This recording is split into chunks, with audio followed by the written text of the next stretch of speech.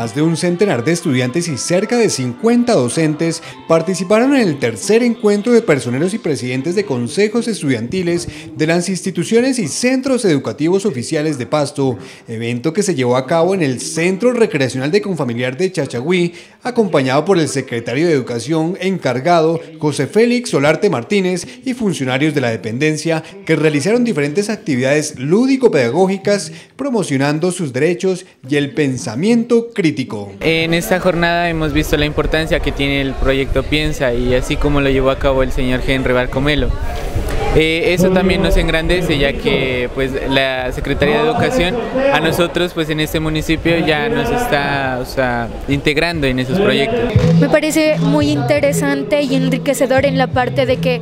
es muy lúdico, aprendemos indirectamente. Nosotros eh, aplicamos nuestros conocimientos como, como estudiantes, como personas, como personas que leen, como personas que se educan dentro de un espacio y venimos aquí a este encuentro a conocer a otras personas. Cerca de 50 docentes que coordinan el proyecto de democracia del proyecto educativo ambiental PI también tuvieron un diálogo en torno a la educación pertinente, hacer una evaluación y plantear su punto de vista sobre la educación que hoy están recibiendo Realmente me parece muy importante que la Alcaldía Municipal y la Secretaría de Educación abran estos espacios de participación para tanto estudiantes como docentes. Es un espacio de aprendizaje mutuo. Espera que los estudiantes compartan, socialicen, miren que la educación va más allá de las aulas,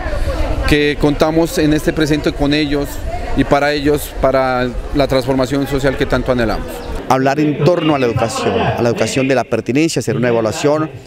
cuál es su criterio de la educación que hoy están recibiendo y cómo estos jóvenes que están a pocos días de culminar su proceso educativo en la secundaria se prestan para enfrentar nuevos retos en los campos educativos o algunos en los campos laborales,